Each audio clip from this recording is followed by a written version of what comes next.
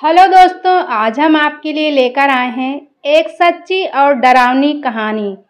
ये कहानी एक होटल के रूम नंबर 402 की है।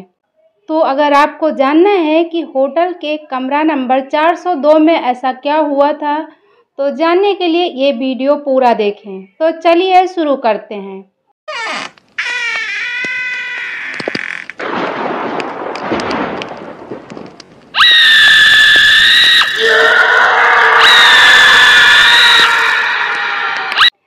कहानी है पावन की।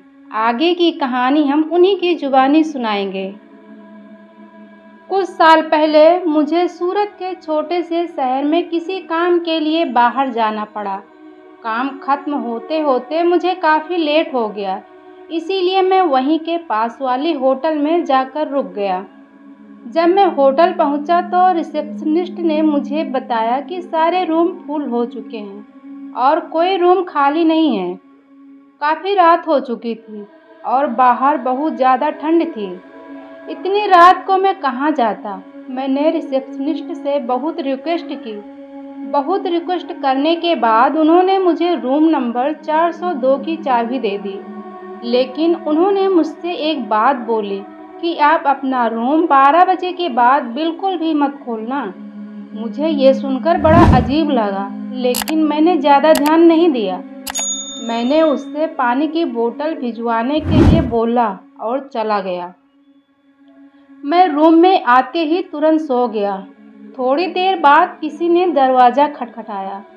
जब मेरी आँख खुली तो कमरे में बहुत अंधेरा था। मुझे लगा कि कोई पानी का बोतल लेकर आया होगा। मैंने दरवाज़ा खोला। दरवाजे पर एक आदमी खड़ा था, जिसका पूरा मुँह एक सफ़ेद साल से ढका हुआ था। उसके एक हाथ में लालटेन थी और दूसरे हाथ में पानी की बोतल थी। जैसे ही मैं पानी की बोतल लेने के लिए आगे बढ़ा, वो आदमी पीछे हट गया। मुझे बहुत ज़ोर से गुस्सा आया। मैं नींद में था। मैं उस पर चिल्लाने लगा, लेकिन वो मेरी बात नहीं सुन रहा था। वो पीछे की तरफ़ चला जा रहा था। मैंने दौड़कर उसका हाथ पकड़ लिया। वो रुका और पीछे मुड़ा। जैसे ही मैंने उससे पानी की बोतल लेने की कोशिश की, वो आदमी मेरे ऊपर ज़ोर से चिल्लाया और उसकी साल मुँह से हट गई। उसका भयानक चेहरा देखकर मैं हक्का बक्का रह गया। जैसे मेरी सांस ही थम गई हो। उस आदमी की आँखें नहीं थी, पूरा चेहरा जला हुआ था। उसका डरावना चेहरा देखकर मैं बुरी तरह डर गया। और थर थर काँपने लगा। मैं डरते हुए कमरे की तरफ़ भागा। जब मैं अंदर आया तो मैंने देखा कि रात के डेढ़ बज रहे हैं। तब मुझे रिसेप्शनिस्ट की बात याद आई। तभी दरवाजे पर फिर से खटखट की आवाज़ आई।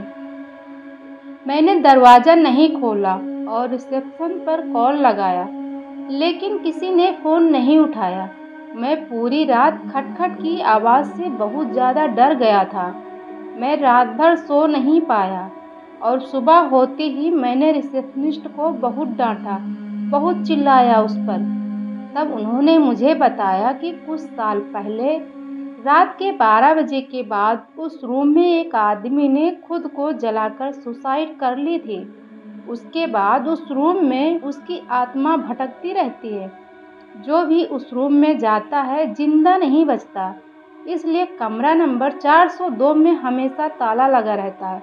उसकी बात सुनकर मैं अपने आप को खुश नसीब मानता हूँ कि आज मैं ज़िंदा हूँ। लेकिन जब भी मुझे वो रात याद आती है, मैं बहुत डर जाता हूँ और कभी कभी तो मुझे नींद भी नहीं आती। मुझे दवा खानी पड़ती है।